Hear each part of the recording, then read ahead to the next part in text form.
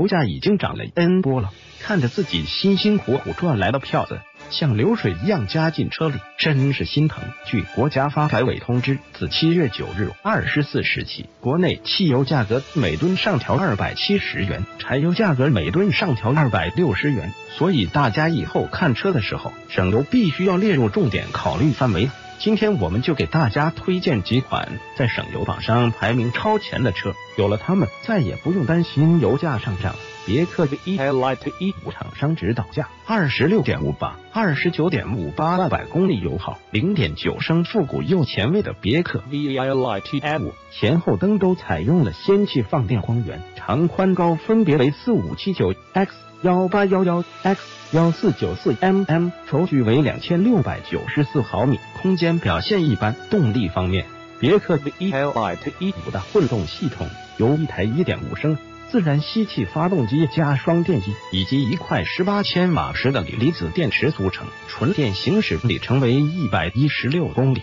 单次加油的综合续航里程则达到了七百六十八公里，最大功率七十八千瓦，峰值扭矩幺三八 Nm，传动系统匹配 ECVT 无级变速箱。另外，别克提供十年免费保养，加上超长的纯电续航。使用成本极低，不过前提是家里有充电桩。比亚迪秦厂商指导价十八点五九，二十点九九万百公里油耗，一点二到一点四升。以比亚迪秦一百为例，车辆外观动感大气，车身长宽高为四七四零 x 幺七七零 x 幺四八零 mm，轴距两千六百七十毫米，配置也非常丰富，三百六十度影像，遥控驾驶，自动大灯。电加热通风座椅，液晶仪表盘，一键启动，无钥匙进入，二十迈自动落锁，防眩目后视镜等一个不少。动力方面，比亚迪秦一百搭载一套插电式混动系统，其由 BYD 四七六 EQA 型一点五 T 发动机。电动机和锂电池组构成，最大功率为一百五十四马力，百公里加速五点九秒，百公里油耗一点二升。上汽荣威 E i 六厂商指导价二十点一八，二十二点二八万百公里油耗，一点五升。荣威 E i 六前脸采用最新的律动式家族设计，车身长宽高为四六七幺 x 幺八三五 x 幺四六零 mm。轴距两千七百一十五毫米。内饰方面，配备十点四英寸互联网大屏，十二点三英寸全液晶交互式虚拟仪表和旋钮式换挡机构，还搭载 ACC 自适应巡航、AEB 自动紧急刹车、LDWS 车道偏离警告、三六零度全景倒车影像和智能遥控驾驶等高端配置。荣威 Ei6 的动力部分由代号 SG 幺六 T 的一点零 T 缸内。直喷涡轮增压发动机加 W 智能电驱变速器组合而成，综合最大功率为二百二十八 PS，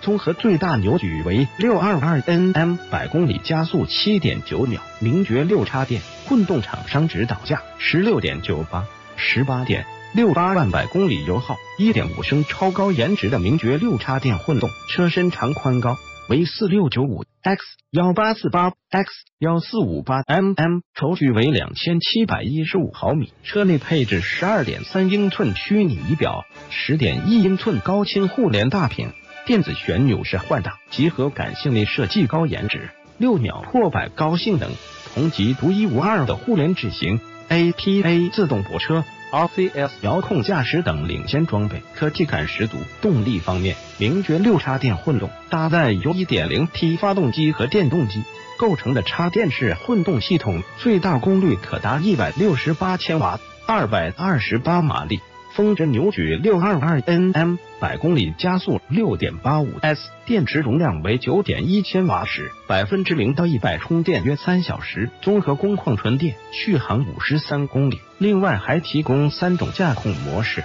和三种能量回收模式。吉利帝豪 PHEV 厂商指导价十六点五八。十八点五八万百公里油耗，一点五升吉利帝豪 PHEV，外观中规中矩，车身长宽高分别为四六三幺 x 幺七八九 x 幺四九二 mm，轴距两千六百五十毫米，内饰简洁大方且不失科技感，配备了液晶仪表盘和七英寸的多媒体中控屏幕，集成 GPS 导航、倒车影像。手机互联功能等。帝豪 PHEV 搭载一套由1.5升发动机加电动机组成的插电式混动系统，具有 EV 和 AGV 两大驾驶模式，同时在每种驾驶模式下都有 Eco、Normal 和 Sport 三种操控模式，最高时速为一百七十五千米每小时，零到五十公里的加速四点六秒。在纯电动模式下，最大续航可达六十一千米。